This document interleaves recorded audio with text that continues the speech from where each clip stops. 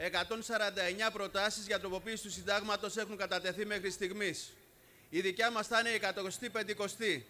Ποια είναι η διαφορά της; Ότι είναι η μόνη φιλολαϊκή φιλεργατική πρόταση.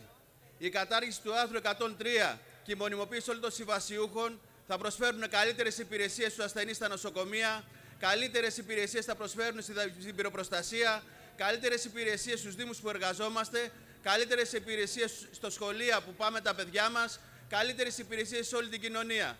Γι' αυτό παλεύουμε, χαιρετίζω τον αγώνα και συνεχίζουμε.